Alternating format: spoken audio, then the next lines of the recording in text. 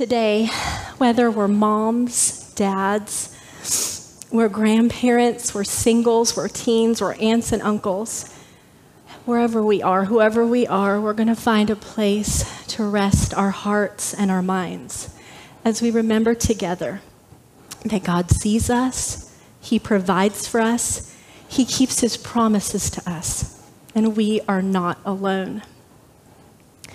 And we're going to see this through the story of a mother named Hagar. Now, if you're familiar with the story of Hagar, you might be thinking, what in the world, right? It's one of those stories that um, I honestly have never liked. I love scripture, love it. But this story, um, if read by a non believer, sometimes makes you feel like you might need to make excuses for God, right? But I pray that we'll see today the goodness and mercy and provision of our faithful God is all over this true account. So let's jump in and see who Hagar was. Now, Sarai, Abram's wife, had not been able to bear children for him, but she had an Egyptian servant named Hagar. So Sarai said to Abram, The Lord has prevented me from having children. Go and sleep with my servant. Perhaps I can have children through her. And Abram agreed with Sarai's proposal. So Sarah E, Abram's wife, took Hagar, the Egyptian servant, and gave her to Abram as a wife. Genesis 16, 1 through 3. Now remember, God had promised Abram and Sarah E a child of promise in their old age, but they weren't getting any younger, and 10 years had already gone by still no child. So Sarah E. decides to take matters into her own hands and force her servant into a surrogate pregnancy. Let's be clear this is not God's plan at all. God had already promised Abram and Sarah E. a child, right? They were married, so they were one. The Bible is always honest about the poor choices of God's children, and this is one of the worst choices that Abram and Sarai could have made. Thankfully, though, God does not define you or I by our worst sins. Culturally, Hagar was a nobody, a slave probably given to Abram and Sarai by Pharaoh during their time in Egypt. She had no choice but to go along with this plan. The Bible says that once Hagar became pregnant, she looked at Sarai with contempt. And because of this, and perhaps a little jealousy, Sarai dealt very harshly with Hagar. So, to get away from the abuse, Hagar runs away to certain death in the wilderness. Hagar was pregnant, powerless, and utterly alone in the wilderness. But that's where God met her the angel of the Lord found Hagar near a spring in the desert. It was the spring that is beside the road to Shur. And he said, Hagar, slave of Sarai, where have you come from and where are you going? I'm running away from my mistress, Sarai, she answered. Then the angel of the Lord told her, Go back to your mistress and submit to her. The angel added, I will increase your descendants so much that they will be too numerous to count. Then the angel of the Lord told her, Oops. you, you are now pregnant, and you will give birth to a son. You shall name him Ishmael, for the Lord has heard of your misery. He will be a wild donkey of a man. His hand will be against everyone, and everyone's hand will be against him and he will live in hostility toward all his brothers. She gave this name to the Lord who spoke to her. You are the God who sees me, for she said, I have now seen the one who sees me. Never forget in your darkest moments that God sees you and your circumstances. You know what's cool? Many theologians think that the angel of the Lord in this account is actually God Himself. What grace and mercy that God does not only hear her cries of affliction, but this is the first recorded appearance of God appearing to someone face to face. Others had dreamt dreams or seen visions. But he amazingly appears to a runaway slave girl. God sees Hagar and gives her the gift of his presence.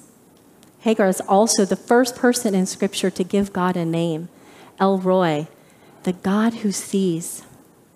Moms, single moms, stepmoms, grandmothers who are raising their grandchildren, moms, God sees you. He sees the bajillion unseen sacrifices that you make every day. He knows your deepest needs and your desires. He knows your worries and your fears. And He offers you Himself. God shows up with His peace and His comfort and His direction.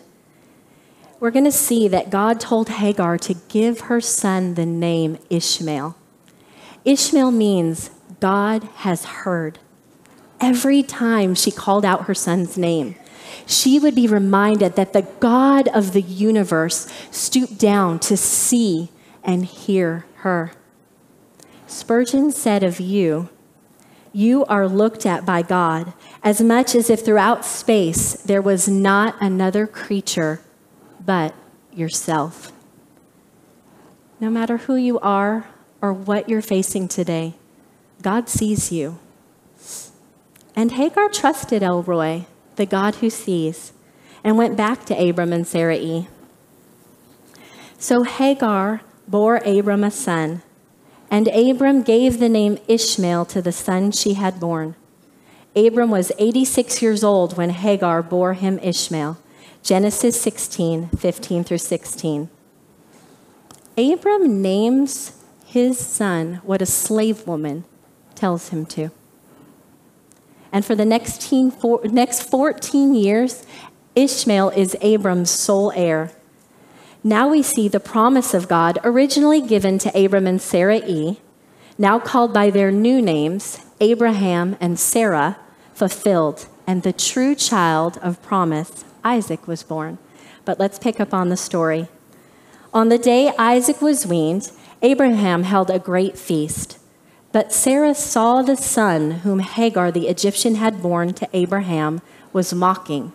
And so she said to Abraham, Get rid of that slave woman and her son. For that woman's son will never share in the inheritance with my son Isaac. The matter distressed Abraham greatly because it concerned his son. But God said to him, Do not be so distressed about the boy and your slave woman. Listen to whatever Sarah tells you, because it is through Isaac that your offspring will be reckoned. I will make the son of the slave into a nation also, because he is your offspring. Early the next morning, Abraham took some food and a skin of water and gave them to Hagar. He set them on her shoulders and then sent her off with the boy. She went on her way and wandered in the desert of Beersheba. Genesis 21 8 through 14. So the true heir, Isaac, was taking his place, and Ishmael and Hagar are no longer needed. At this point, Isaac is about two or three, and Ishmael's about 16. The name Hagar means forsaken, flight, or the one who fears. And this is exactly the circumstance that Hagar finds herself in. Picture this she's awakened one morning given a packed bag and some water, and told that she and her son are no longer wanted. Forced to flee with her son from the only home he had ever known. Hagar wandered aimlessly in the desert until all of her earthly provisions ran out. When the water in the skin was gone, she put the boy under one of the bushes. Then she went off and sat down about a bowshot away, for she thought, I cannot watch that boy die. And as she sat there, she began to sob.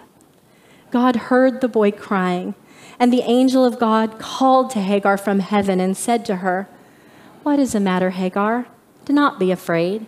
God has heard the boy crying as he lies there. Lift up the boy, take him by the hand, for I will make him into a great nation. Then God opened her eyes, and she saw a well of water. So she went and filled the skin with water and gave the boy a drink. Genesis 21 15 through 9. God mercifully shows up for a second time and he offers his strength, his provision, and he reminds Hagar of his plan for her son. And she, an Egyptian slave woman, would become the mother of a great nation. God was with the boy as he grew up. He lived in the desert and became an archer. While he was living in the desert of Paran, his mother got a wife from him from Egypt. Never forget that God has a plan and he keeps his promises. There's this meme that I love, and it says something like um, Behind every great kid is a mom who's pretty sure she's messing it all up. Have you seen that? Don't we feel like that sometimes? So many parents live with this underlying worry and guilt. Am I doing enough? Am I saying enough? Am I praying enough? Are they in the right schools? Are they on the right teams? How are my faults, failures, and brokenness affecting my family? Am I completely messing my kids up? Look, God knows that you are the parent that your child needs. God loves our children way more than we have the capacity to love them, and He has had a plan for their lives from before they were born. The scriptures say, Your eyes saw my unformed substance. In your book were written the days that were formed for me, when as yet there were none of them. For we are his workmanship, created in Christ Jesus for good works, which God prepared beforehand that we should walk in them. For I know the plans I have for you, says the Lord plans to prosper you and not to harm you, plans to give you a hope and a future. Let's look back and let's see what God tells Hagar. Don't be afraid. God has heard the boy crying as he lies there. Lift up the boy, take him by the hand, for I will make him into a great nation. God had a plan for Ishmael the whole time. Parents, we have a God given privilege and responsibility to point our kids to Jesus. But as we lift our children to the Lord, and take them by the hand, God works out his plans in and through them. For every hard and unfair circumstance that Hagar's life had, God turned it for good because he had a plan.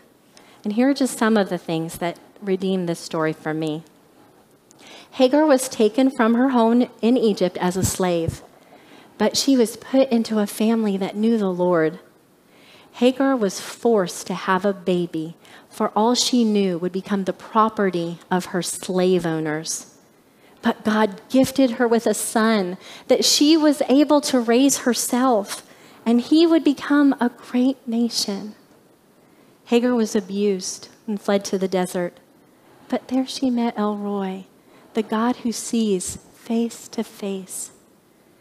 Hagar and her son were kicked out and abandoned, given scant provisions for life. But God showed up again and met her needs and guided them towards His plans for their future. The lesson for us is that God provides and we can trust Him. We can see God's provision in Hagar's story. When all the world gave her is a packed bag and about four gallons of water, God provided a well in the middle of the desert. And when we find ourselves in a desert of feeling overwhelmed by loneliness, guilt, and shame, El Roi, the God who sees, meets us right, where we are with his presence and his provision. The Bible says springs will gush forth in the wilderness, and streams will water the wasteland. The parched ground will become a pool, and springs of water will satisfy the thirsty land. Marsh grass and reeds and rushes will flourish where desert jackals once lived. Only Jesus can turn our deserts into life giving places again. So we have to run to him, fall into his arms, and soak in his presence. Let him fill your heart like a deep well. Come to him and let the living water refresh your souls. Jesus says, Come to me, all you who are weary and heavy laden, and I will give you rest. Hagar trusted God, and He provided His presence, His comfort, His rest, His guidance, and a future. We also have something that Hagar did not have. We have brothers and sisters in Christ. God has provided us this beautiful, messy family of God that prays for one another, encourages one another, bears one another's burdens. It has been said that it takes a village to raise a child. I disagree. I believe it takes a church. And I'm going to shamelessly say a church like Eastridge, a church that has a Celebrate Recovery, a place where you can be seen and heard and loved and known just exactly the way you are. So, no matter what you're facing in life, God loves you. He sees you. He has a plan for you and your family. And He's provided this family of believers to walk alongside you. Trust Him. Charles Spurgeon theorized that the well of provision was always there that God simply opened Hagar's eyes so that she could see it. If Hagar had focused on her circumstances, she and her son would have perished. So, what are you focusing on? Are you focusing on your circumstances? Or are you looking for God's provision? How? Are you in the Word? Are you in a growth group? Are you in a step study? What are you doing to experience God to the fullest? I want everything God has for me. Don't you? The closer we are to Jesus, the better version of ourselves we become. We become better friends, we become better parents. The best thing we can do for our children is to spend time with the Lord. The best thing that we can do for our marriages is to spend time with the Lord.